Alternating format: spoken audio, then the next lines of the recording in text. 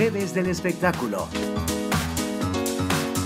Selena Gómez selecciona a fans raros para su línea de belleza. Hola, les comento que Selena Gómez se unió a la lista de famosas que han creado un imperio en la industria de los cosméticos. Y tras anunciar el lanzamiento de Rare Beauty, la cantante dio a conocer que algunos fans protagonizarán la primera campaña promocional de su línea de maquillaje. En las redes sociales de la marca que lleva el nombre de su última producción discográfica, Selena Gómez compartió una convocatoria e invitó a sus seguidores a participar en la dinámica para encontrar historias no convencionales y así redefinir el concepto de belleza. La publicación dice así, seleccionaremos personas para que vuelen a Los Ángeles con todos los gastos pagados y compartan su historia en la campaña. Además, serán los primeros en probar los productos de Rare Beauty y lo más importante es que conocerán nuevos amigos, finaliza diciendo. Los fans seleccionados por Selena Gómez serán anunciados el próximo 9 de marzo y aparecerán en los anuncios de la marca en la que la cantante trabajó por poco más de dos años en conjunto con la marca Sephora. La primera colección de Rare Beauty estará a la venta en Norteamérica en el verano de 2020 y hasta el momento se sabe que incluirá labiales, blush, sombras y correctores, entre otros productos. También les comento que parece que la tranquilidad no es fácil de conseguir para estrellas de gran importancia internacional